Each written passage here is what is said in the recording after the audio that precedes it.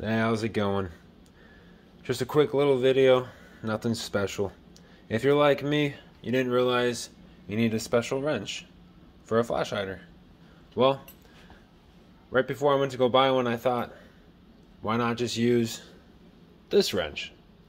And uh, what I had going on in my head was, um, if, if you put this round part right here, and then you just do that, it can be used as a wrench, which will help you if you want to save 10, 13 bucks.